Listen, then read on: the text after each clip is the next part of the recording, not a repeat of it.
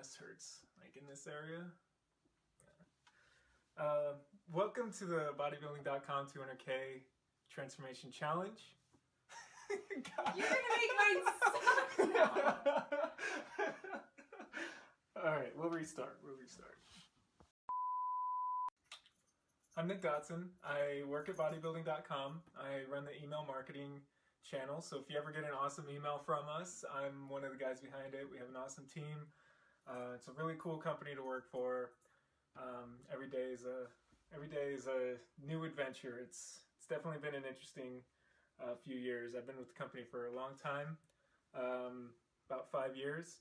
Uh, it's not my first transformation. I've definitely done this before, so I kind of know what I'm, I'm doing. I uh, been pretty active my entire life.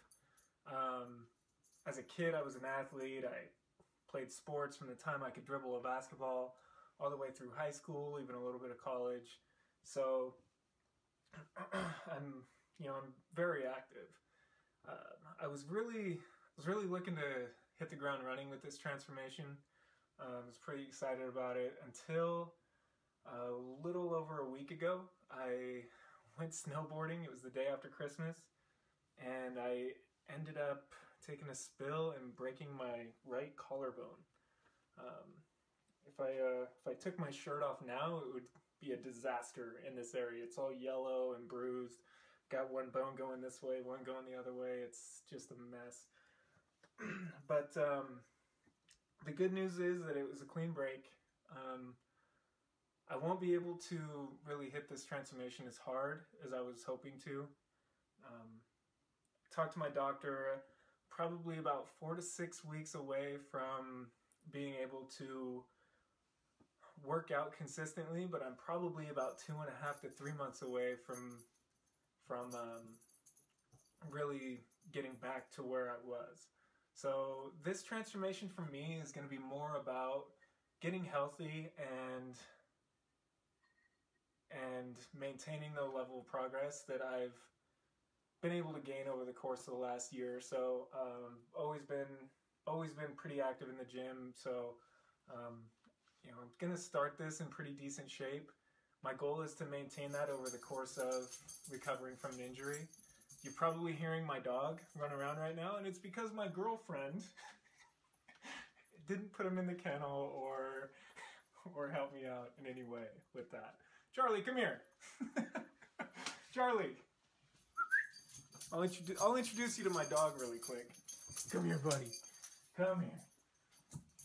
Uh, I pick him up with the other arm, but it's broken.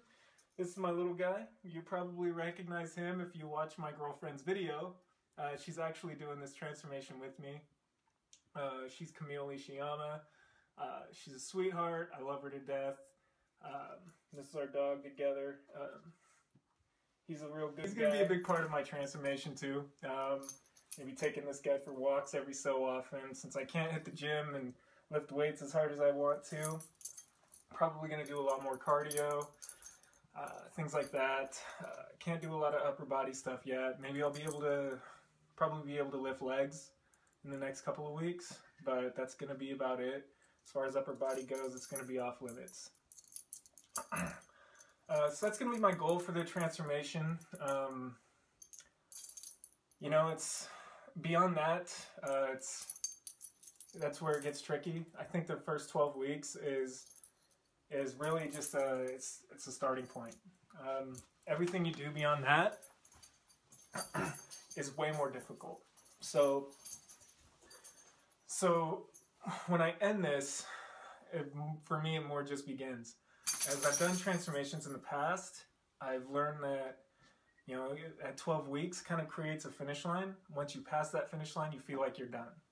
And for me, that's always been the case. I finish a 12 week transformation and I I fall off quite a bit. And that's going to be my goal is for this transformation, get healthy, maintain my progress and push forward beyond it.